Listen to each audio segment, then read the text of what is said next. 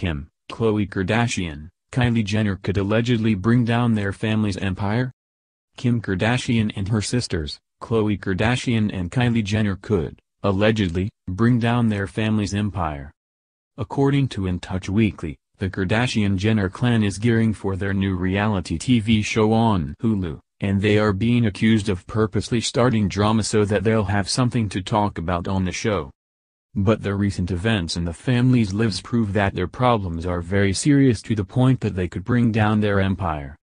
It's been one nightmare after another from Kanye changing his mind about divorcing Kim and fans blasting Khloe to Kylie's fears about Travis Scott going to prison and Kris meltdown over the new series being a total disaster.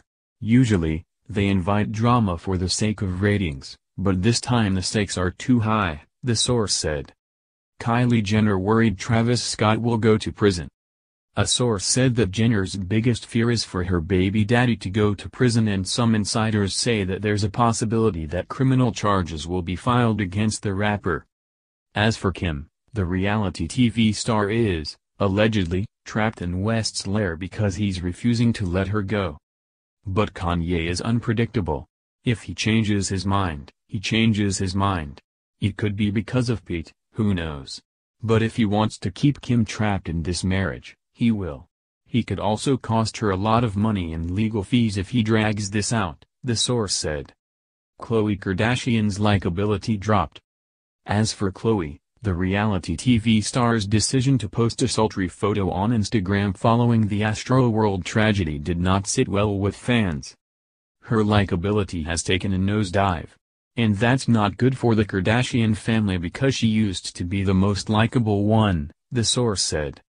Kanye West wants to get back together with Kim Kardashian. However, one should take the tabloid's claims with a grain of salt. There is no indication that Scott could be sent to prison because investigations are still ongoing. There's also no truth to the claims that Khloe's popularity dipped or that West is refusing to let Kim Kardashian go.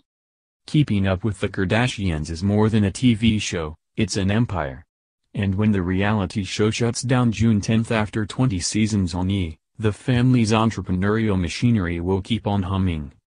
The relationship between series and the empire has been there from the start, with the former seen as a potential boon to the family's retail businesses before sparking even greater ambitions.